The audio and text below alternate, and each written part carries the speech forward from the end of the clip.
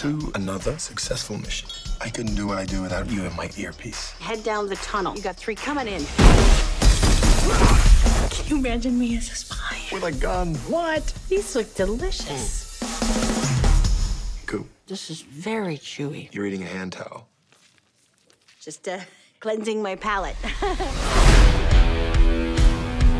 when I joined the CIA, I thought I was going to be this amazing spy. I'm just the same boring person I was before. You play it too safe. I just hear my mom's voice. Give up on your dreams, Susan.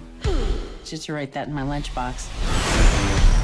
Rayna Boyanov is about to sell a tactical nuclear weapon to a terrorist organization. I Told you to send me in there. You can't. She knows the identity of all our agents. We need someone to find the bomb without being detected. I'll do it. Okay, thanks, lunch lady. You're going. Okay.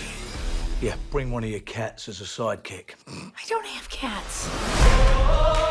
Go see Patrick. He's got special equipment for you. It's like the future.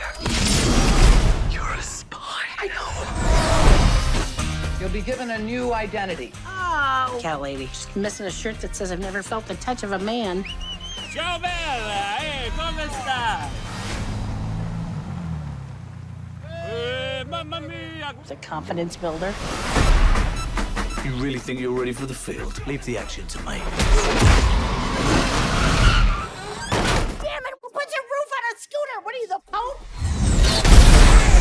You are not to make direct contact with any of the targets. You are incredibly out of your league. That's not fair.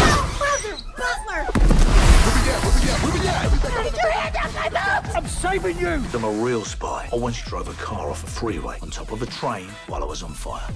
Not the car. I was on fire. Kind of starting to freak me out.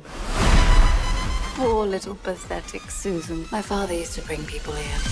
Did he also make you dress like a slutty dolphin trainer?